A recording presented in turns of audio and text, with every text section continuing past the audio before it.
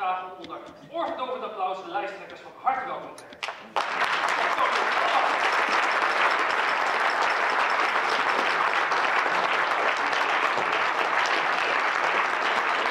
Hij klappen, hij klappen. Ja, kom op, hij klappen. Ja, dat gaat goed. Dank je, dank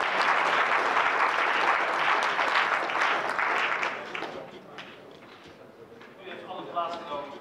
Van de microfoon. Ja, perfect. Nou, wat gaat er gebeuren? Die klok telt één minuut. Iedereen die hier staat, krijgt één minuut de tijd om zichzelf te presenteren. Gewoon de simpele vraag, waarom zou je nou die persoon moeten stemmen? Na die ene minuut klinkt er ook een orfdovende bel.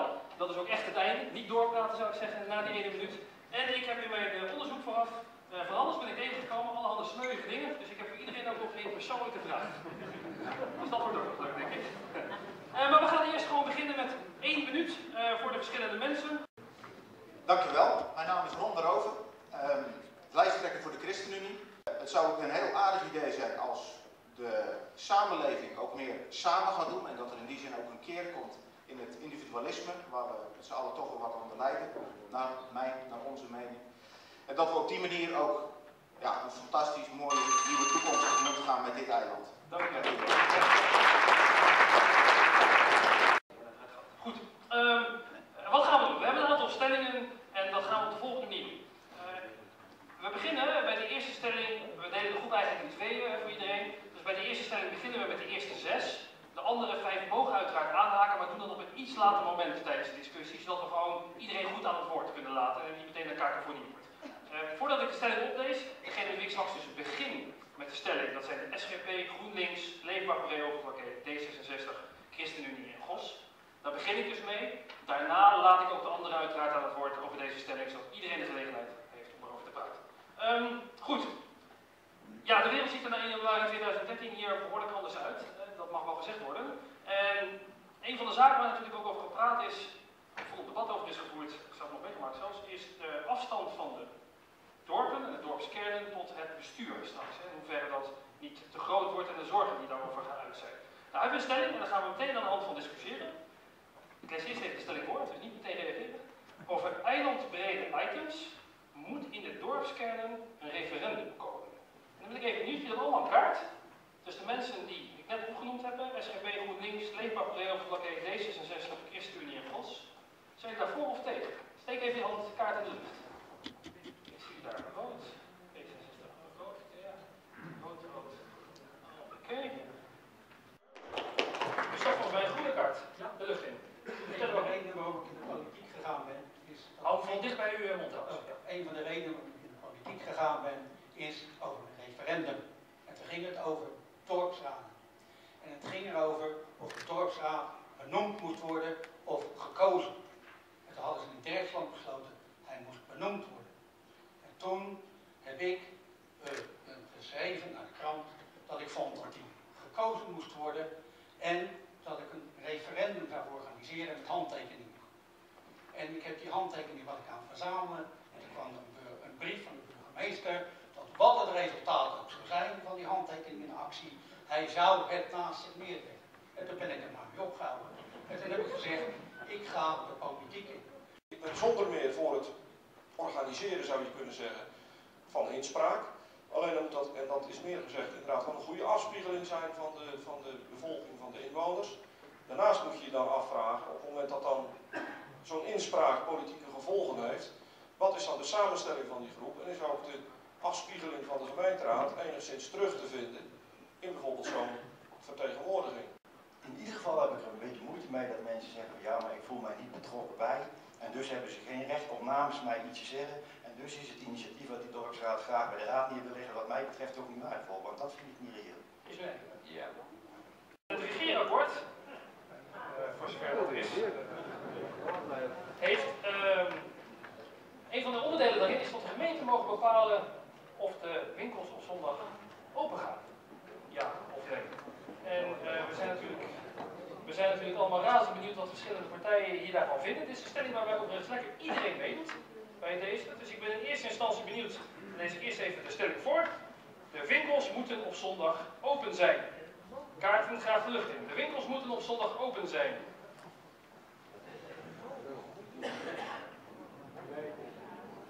Oké, nou dit gaat goed. Kijk, nou. Iedereen mee.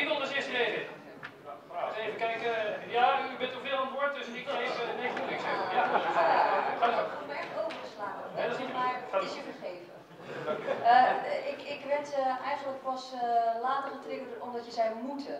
Volgens mij moeten we niemand wat dan ook opleggen als er draagvlak is om de winkels op zondag open te doen. Mogen. Ja, even een reactie op, op Chris. Uh, het is natuurlijk niet zo dat de politiek zich niet bemoeit met de zondagsopenstelling, want dat blijkt wel uit de wet en regelgeving die er is op dat punt. het is altijd zo geweest dat er in principe geen koopzondagen waren. Die zijn op een gegeven moment verruimd naar 12 per jaar, die, die kunnen toegewezen worden.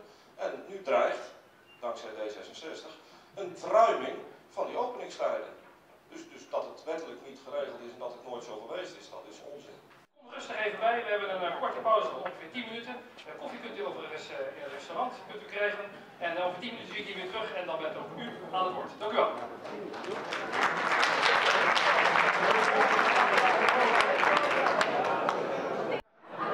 Zijn er parkeerproblemen? Groen ja, rood nee. Rood nee. Nou. Nou, dat is duidelijk. Er zijn geen parkeerproblemen. Sommige dingen zijn zo makkelijk op te lossen. Uh, meneer Huber, je wilt ook wat zeggen. Maar het kan nooit een doel op zich zijn. Overigens, net als dat is ook geen doel op zich. Maar het is geen antwoord op de vraag die je stelt. Maar gewoon als we op u stemmen, gaat u betaald parkeren invoeren, ja of nee? Nee. Mooi. Uh, stelt het juist als mogelijkheid om andere uh, vormen van transport, ook maar voor of fiets, om daar uh, die te stimuleren. En dat is toch echt wel een GroenLinks-punt. Okay. Is, is nou, nee, nee, nee, nee, nee, nee, u mag niet reageren. Het is een vraag die aan GroenLinks is gesteld. U mag reageren. Ik geloof dat ik niet helemaal de argumentatie kan volgen. Nou, meneer, meneer Koster wil het nog een keer Meneer Koster, nog een keer? Nou, uh, de zaal. Ik even naar de zaal. Dat mag. Uh, zaal, wie zegt ik heb een uh, vraag die ik graag zou willen stellen? Steek gewoon even je hand op als je een vraag hebt. 1, 2, 3, even kijken, 4. Ik begin even vooraan. U meneer, u wilt een vraag hè? Ja. Nou, als u even wacht, dan komt iemand met een microfoon naar u toe. Die is onderweg, dat is de meneer hier. Ja, we hebben iemand met een ijzeren conditie uitgekozen. Daar komt hij, is nu vooraan. Gaat u gang. Als u zelf ook even voorstelt voor de mensen en uw vraag. Kort en bondig. Frans Evers, een uh, opmerking uh, richting de heer Van Dam. De heer Van Dam sprak net over onze schepper. Uh, daar maak ik bezwaar tegen. Um, uw schepper is niet de mijne. Mijn scheppers waren mijn vader en moeder, voor zover ik dat kan stellen. Verder vind ik de religieuze discussie over de zondagsrust heel erg willekeurig en neerbuigend naar andere religies. Onze Joodse medemens wil graag op zaterdag rusten. Onze islamitische medemens graag op vrijdag. En verder, ik ben een voorstander van uh, scheiding kerk en staat. En ik wil eigenlijk al dit soort religieuze uitingen niet in een politieke discussie hebben. Okay, dat is prima. Meneer Van Dam. Meneer Van u mag reageren. Ja, ik weet niet of ik al te veel behoefte heb om daar al te diep op in te gaan. Als ik spreek over onze schepper, dan spreek ik over onze schepper.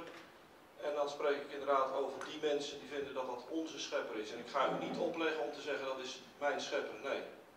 Dus maar, volgens mij is dat het probleem uit de wereld. Het andere interessante aspect van de vraag was natuurlijk, ja, maar niet iedereen heeft op zondag. De zondagsrust. Sommige mensen hebben op vrijdag, sommige mensen hebben op zaterdag. Hoe gaat u daarmee om? Ik leg, nee, ik begrijp heel goed ja. De vraag. Uh, als ik inderdaad bespreek over zondagsrust, dan heeft dat inderdaad te maken met mijn geloofsovertuiging. En volgens mij heeft dat helemaal niets te maken met de scheiding kerk en staat.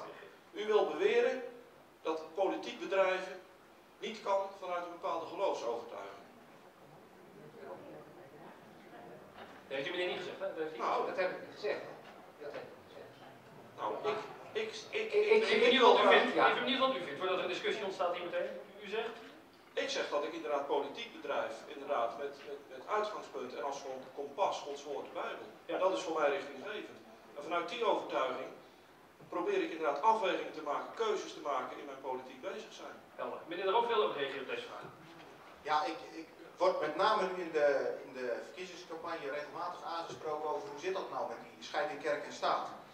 Uh, de scheiding kerk en staat is een feit. Die is grondwettelijk vastgelegd en daar ben ik zelfs voor. Um, het punt is dat geloof en politiek niet te scheiden is. Uh, Gandhi heeft ooit gezegd, wie geloof en politiek wil scheiden, heeft van beide niks begrepen. Want ik baseer mijn politiek handelen op mijn geloofsovertuiging, die ik diep van binnen ook, uh, die ook diep van binnen mijn identiteit bepaalt. En daar ligt mijn passie. En op die manier kijk ik naar de wereld en op die manier wil ik ook uh, mijn verantwoordelijkheid voor de samenleving dragen. Maar dat doen mijn collega's hier ook, vanuit hun levensovertuiging. Waardevrij politiek bedrijven kan niet. Identiteitloos politiek bedrijven kan niet. En gebeurt dus ook niet. Oké, okay, laatste recht op deze vraag, meneer. Ja, het probleem met zo'n belezen collega als meneer De Roof is dat hij exact hetzelfde argument gebruikt. Exact hetzelfde citaat dat ik zou gebruiken. Namelijk dat, dat citaat. Dat heeft u weer. Ik zat van Gandhi heb ik weer, ja. Maar laten we eens goed over nadenken. De scheiding van kerk en staat is wat anders dan scheiding van geloof en politiek. Laten we dat gewoon, laat het even bezinken. Beide zijn ze grondwettelijk verankerd. Tweede week toevallig is er artikel 6 verankerd in de grondwet. Dat is iets heel anders. Laten we het echt uit elkaar halen. Het loont de moeite om er even een paar minuten over na te denken. Vanavond, voordat je de wet geeft. En na de debat. Ja, precies. Ja, Oké. Okay. Totaal geen beeld bij. Wat is een vriendschapsband? Wat betekent dat? Wat een, een vriendschapsband is dat je een uitwisseling krijgt tussen uh, diverse culturen in een tweetal landen. Moet die vriendschapsband verbroken worden, ja of nee? Gos.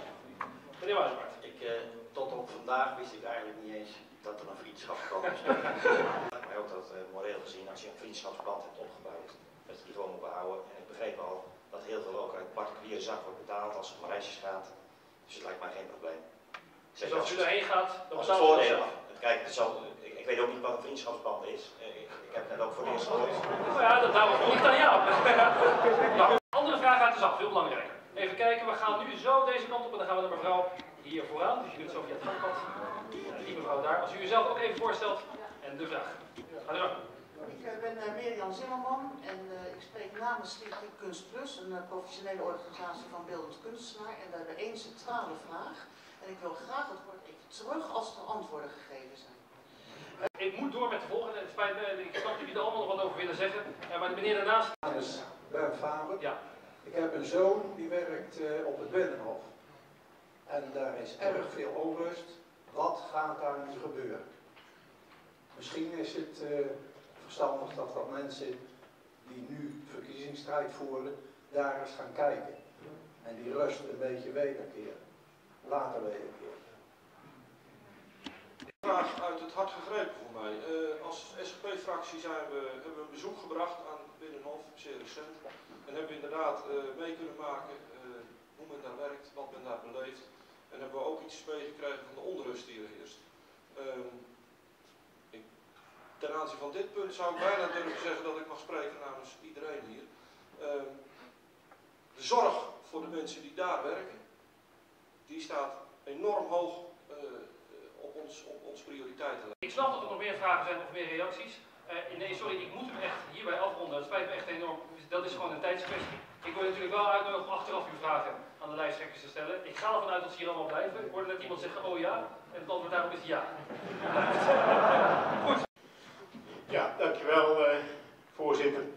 Ik heb het al op andere bijeenkomsten gezegd. De taak van de nieuwe raad zal zijn met het gezicht naar u toe, want bij u vandaan moet het komen.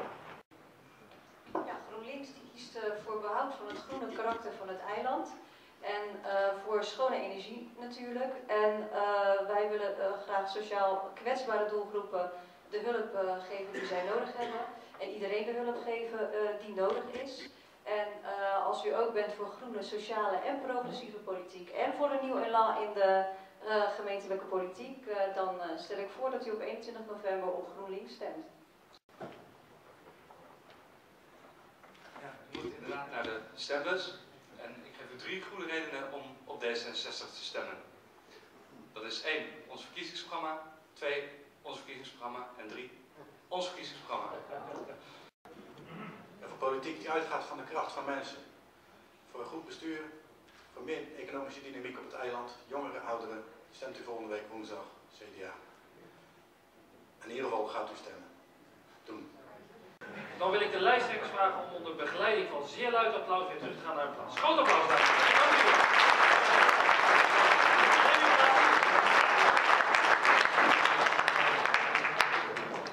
Neem je plaats. U allen zeer bedankt voor uw bijdrage.